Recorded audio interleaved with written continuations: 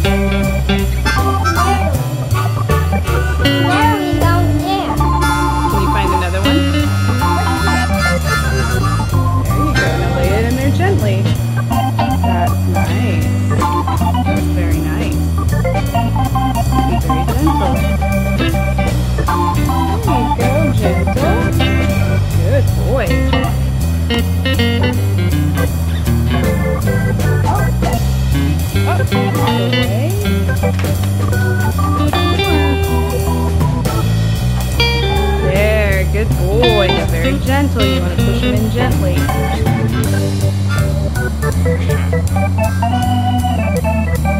It's okay if you go there. I got pictures. yeah, I'm taking a video of you. Show me your wet hands. Show me those wet hands. Yeah.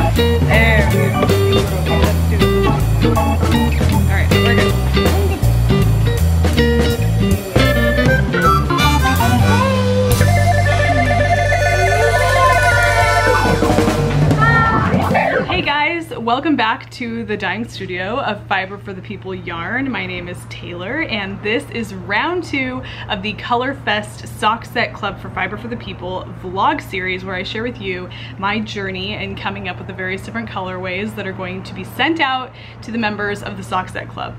Um, I'm really super looking forward to today's uh, colorway because this particular festival that we're chronicling today is, oh gosh, so um, it's very colorful, but it's just got such a really interesting kind of um, combination of colors going on, so I'm super excited about that. But if this is the first time that you've seen these vlog series, just so you know, you don't have to watch these in order, but there is a round one that came out last month about the celebration Holi, um, so you can check that one out if you missed that. I'll go ahead and link to it here um, so you can see it here. But if not, you can just go ahead and watch this one and go back and watch that one later. There's no order to this at all. Um, but also too, just know that the Colorfest Sock Set Club is closed at this point. This is just a vlog series uh, where I share with you how I come up with um, or kind of like my, my creative process for determining what I'm gonna do for the colorways. So that's what this is. But in the meantime, let's go ahead and, and jump right into it and talk about how we're going to uh, design the Inti Raymi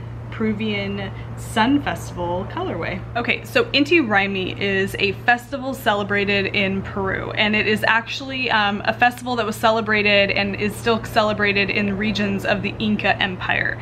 Um, so we're talking, you know, ancient history, you know, Incan Empire all the way up until now, those regions celebrate um, Inti Raymi, and it's a celebration of Inti, who is the Incan sun god, and it was to celebrate the coming of the winter solstice. This particular celebration is celebrated on June 24th, so it's actually a um, winter festival for the people in Peru and in that region of the world in South America. Um, you know, it's summer here, but it is a wintertime festival. The winter solstice is what's being celebrated here. Um, and you would hope it's winter because when you see the things that these people wear during these celebrations, it's um, it's pretty intense. It would be very hot if it were summer, but I'm really excited about this because I love um, the colors that are happening. Now in Holi, if you uh, watched the previous vlog, you remember that that colorway um, contained a lot of pink because that was the predominant color that you see in the photo that I chose as inspiration. And I love pink, I love me some good pink. But I'm just, I'm interested in coming up with this colorway just because of the visual interest of the photo that I'm gonna show you that um, depicts uh, Inti Raymi. So I'm gonna go ahead and show you the photo and then we're gonna talk a little bit about where we can pull inspiration from this photo. Okay, so here is the photo for um, Inti and I'm gonna try and kind of like speak around the photo so you can still hear me. Um, I I'm just so inspired by what's going on in this photo for a few reasons. I'm kind of making it, like bending it so the light doesn't uh, blow it out. But there's such like amazing costumes that they're wearing. I mean, these masks are incredible. So each person in the this particular portion of the celebration is wearing these red masks. I mean, there's a little boy or a little girl over here who's wearing a red mask. Everybody has a red mask on. And what's also interesting about it is it looks to me like each mask has different eye, like the eyes aren't all exactly the same. Like this person back here has like blue eyes and this has like a gray ring around the eye. I don't know, it's just really cool, the variation in uh, the costumes. Um, lots of great colors happening here. I mean, you have the really beautiful like primary colors standing out, the greens, the oranges, the yellows, the blues, the light blues, all of that, the real true rainbow colors definitely stick out. But something that I don't know if you can see it here, so I'm gonna pull in a little closer. There's this beautiful like mahogany maroon color that's happening right here. There's lots of really pretty gold going on. You can see that in here. There's obviously gold happening back here. Um, then these jewel tones that are embellishing these headpieces. you know, it's just, it's really beautiful. Now, the first place that I was drawing inspiration from this was this mask. I thought, what a beautiful colorway if I were just to focus on the mask and draw inspiration just from the mask with a really pretty red, kind of almost like a blushing red base with some gold details, some black in there. Um, and then I decided like I wanted to pull inspiration from more than just that. I mean, there's so much beauty going on in this photo, so much color, so much vibrance that I want to pull inspiration from more than just that mask. So I was thinking um, I definitely need to figure out like how, okay, obvious color inspiration happening here are these tassels that you see here and down here, we need to pull color from, from that somehow, absolutely. The gold, the gold stands out to me, like, oh, it's beautiful. And then of course that maroon. So I feel like I want to um, go in that direction with the colorways. I'm definitely, yeah, I'm definitely pulling, you know, wanting to pull inspiration from this maroon color that's happening here, these tassels that are going on right over here, all this gold and these other jewel tones that look like sequins that have been sewn onto these um, capes almost. These look kind of like capes. Uh, just oh, so much inspiration here, but what sticks out to me most is the maroon, the gold, and then these tassels. And because these little jewel tones are kind of glitter, like glittered all over, is that a word? Glittered? All over the different uh, dresses that they're wearing or the different um, outfits that they're wearing, that could definitely be in the form of a speckle on the yarn. So I'm just gonna go ahead and jot down some of my initial kind of uh, sources of inspiration. All right, so I'm definitely thinking some kind of a maroon base Maybe when I say maroon, almost like a mahogany. Then I want to pull in maybe even like maroon base on half and then maybe like a gold on half. A really cool like micro striping effect can be going on there. And then jewel tones, speckles.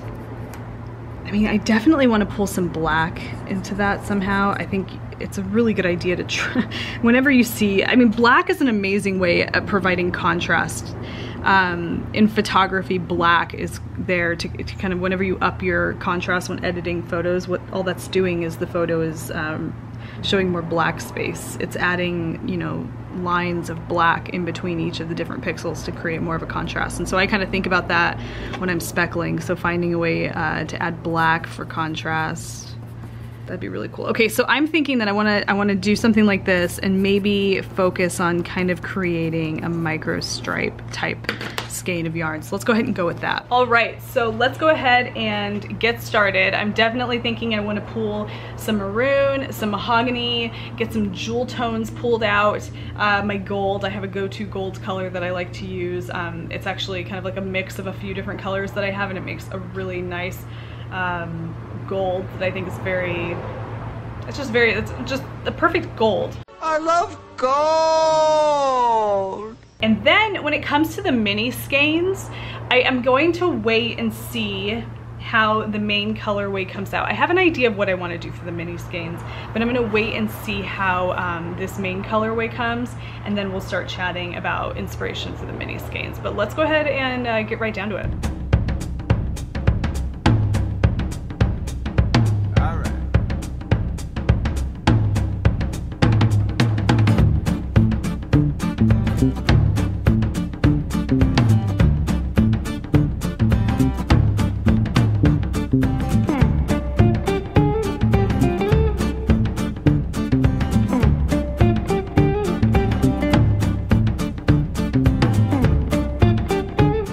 Wondering, the reason for the meter stick is because this is my kind of way of standardizing the water measurements that are in my pans.